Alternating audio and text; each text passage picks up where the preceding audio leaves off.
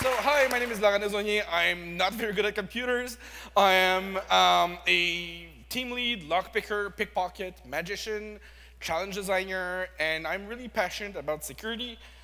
The thing is, I think we people sometimes work really hard for little results, whereas I'm more of someone who uses little tricks to great effects.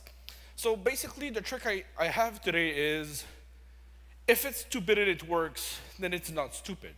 So like we work really, really hard and I'm really trying my best to find ways, stupid ways to improve your security testing. Um, today we're gonna be testing several things such as physical security, social engineering tricks, um, and we're also dabbling a bit in defense because people told me my, my talks were quite uh, offense oriented, so I'm helping the blue team as well. Um, so the first thing we're gonna talk, and I'm going super fast because we have like 20 tricks in 20 minutes. Physical security, everybody's favorite. Um, I really encourage you to try those, but there are some things you need to, to take into account. Have you seen one of those? Those are like basic HID um, pin readers. Now, how could you attack this one? So the fancy way to do it is to buy a like cover 3D printed that you put over and you over-engineer your solution until it works. Or you go the stupid way and you buy Tide. Do not eat the Tide. Simply put, simply put a little dab on each uh, pin, on each keys. And, and Tide to go is UV fluorescent. So like in the movies, you can like know what pins they typed. Well, the four characters of the pins they typed. And it costs like one buck.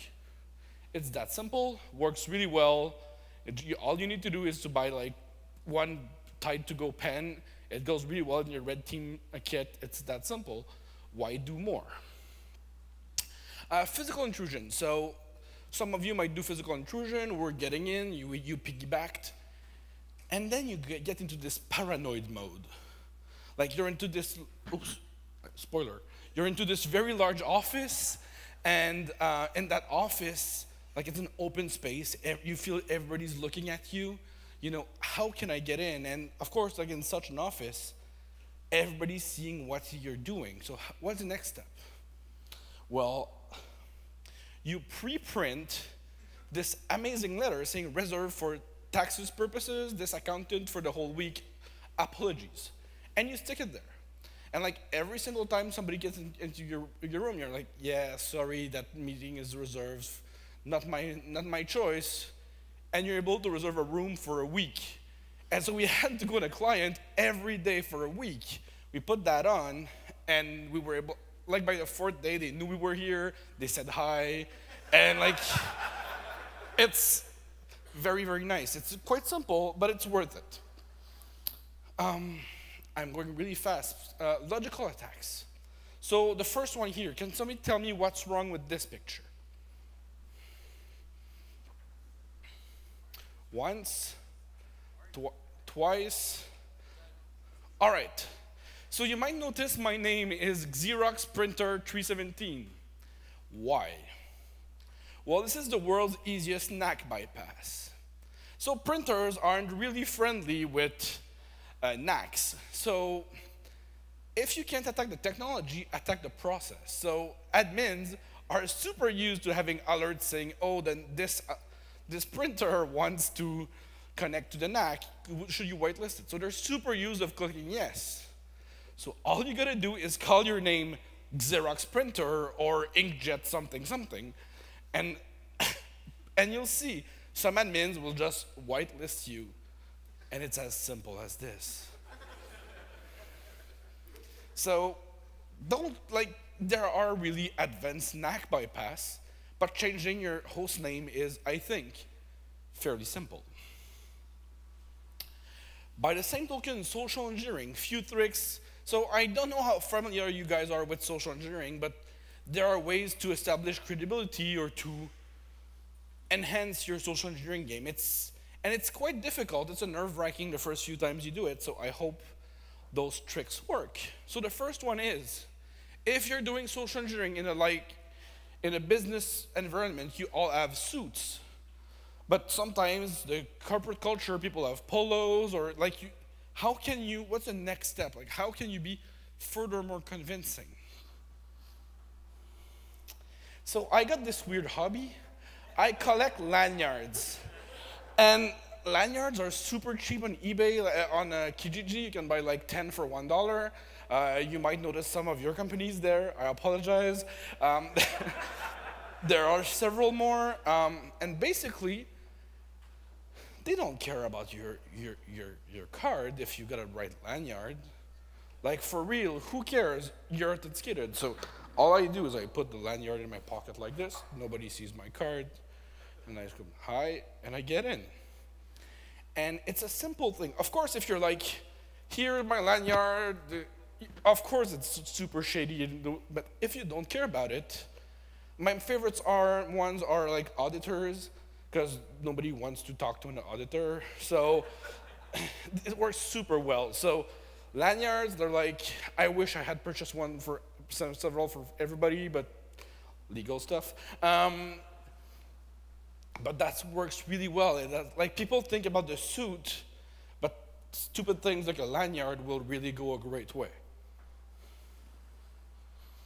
One more thing, disarming doubt. So it's an actually quite funny story. We were in this engagement and we had to find the, um, the, the username format. So I call, I spoof my number, such as like every social engineering thing, and the person is super suspicious. I, I present myself as that guy I found on LinkedIn, and he's like, "Are you really?" And I'm like, "Yeah, I'm logging in. I have like that domain name slash, uh, sorry, I have that domain name. Then the little line that's titled that's tiled to the left." He's like, "The little line that's tiled to the left." What do you mean? Well, you know, the line that's not straight. And you, under, and you see him like, oh, that's a backslash, sir. Your account is this. So I went from being the super like suspicious person to oh that's just another user who forgot his account. So as you're doing social engineering, you don't always have to use authority. Playing it dumb works really well. And the word that little line that goes to the left is a great convincer. Same like when you say, uh, uh, the way you say dots, like, um, or dash, you don't say dash, you say trait d'union, or like the way, the way you say it, like think about your parents, think about your grandparents, the way they say things, that's exactly what you want to reproduce. And you'll see the, uh, the awareness of the people will go way, way down. Like, it's not difficult. You just need to think about in what context can I disarm the people. So those were the very few offensive tricks this, this time, because now we're going to catch some testers and threats sometimes. Because this talk was called Stupid Purple Tricks. And the, the, reason why is because there are some offensive tricks, what is called red team, and some stupid tricks for blue teams. Because we as pen testers sometimes make stupid mistakes too. Um, let me just come, let's start with a word of warning though. Um, if you catch pen testers, make sure you catch threats as well. Like, you can't just say, oh, we had a pen test. We had this rule to catch a pen test from that company because we hard coded their MAC address. We won.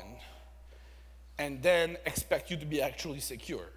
So, there are tricks to catch pen testers, and it's fine. Just keep in mind that as long as you keep catching threats, it's totally fine. But you can't just say, we catch pen testers, we're secure. I had to give this warning. So let's attack tools. This one is called BetterCap. Um, BetterCap is a terrible, terrible tool. For people who used it, it's like there's one switch that's minus minus apocalypse, and it does man in the middle, HTTP sniffing, it does everything. So I was on this pen test once, super secure zone where nobody should know about like this top secure, there's no users usually. I'm doing men in the middle and I see this link. So it's an HTTP link, it's a YouTube link.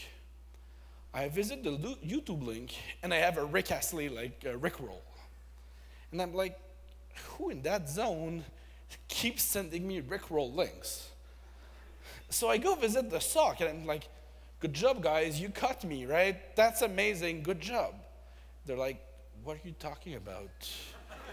we didn't send you those. And then we start stressing a bit because that zone, there should not be any users. It's like a super secure zone, and somebody keeps sending Rickroll links. So, several investigations later, we find out that this link here in HTTP, it's hard coded in Bettercap.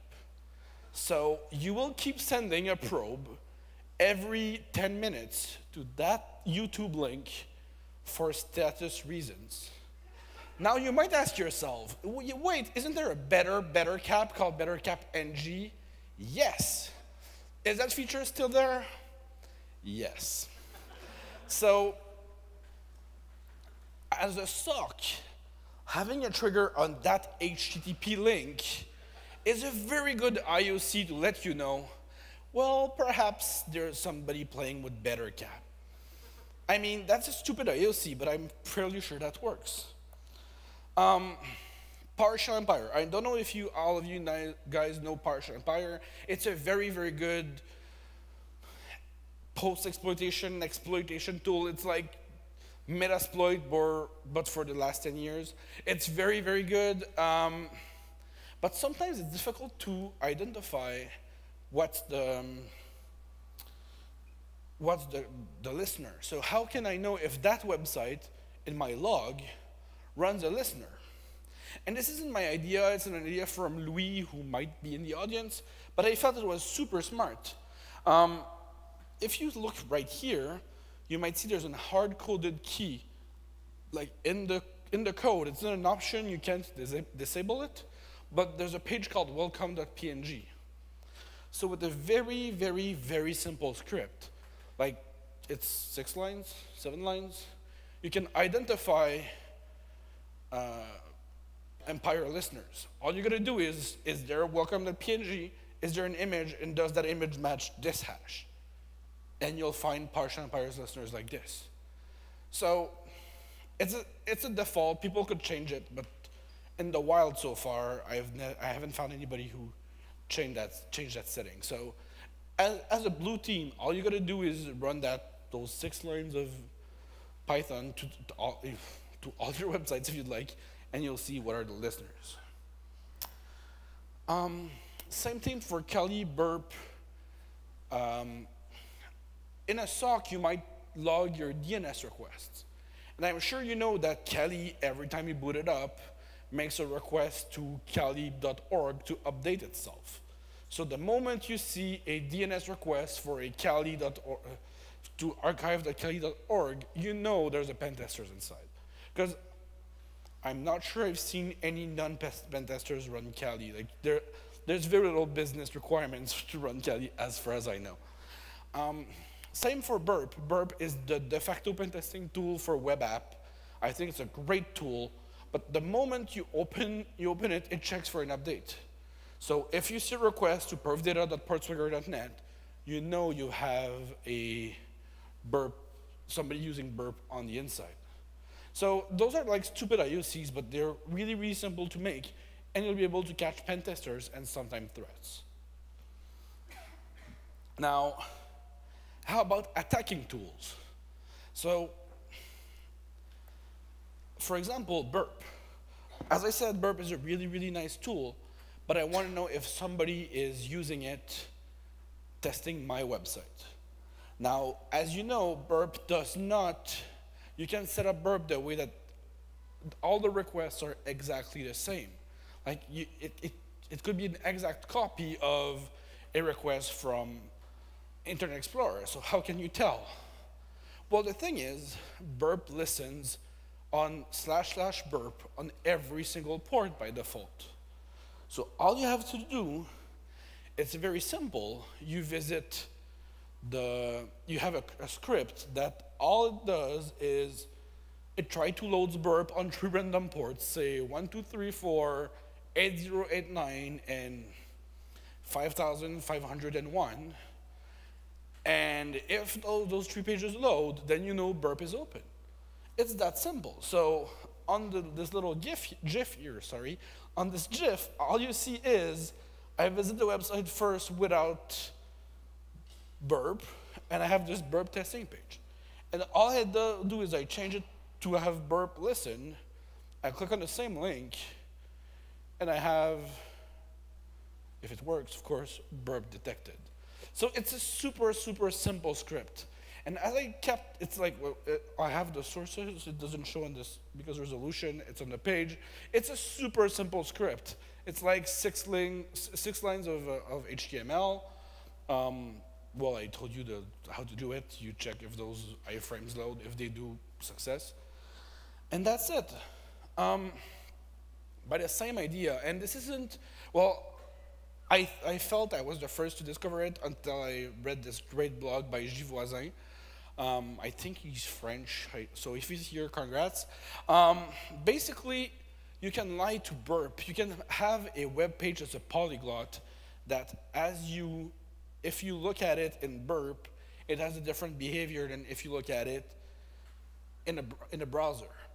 And that's because the way meta tags are prioritized. So in a web page, you have a header saying this is encoded using this, whereas in the it, it, there's a meta tag that could tell the same thing. Now, usually browsers will prioritize the header over the meta HTML tag. But Burp does it the other way around. So that's something what looks like when you're opening your file in burp.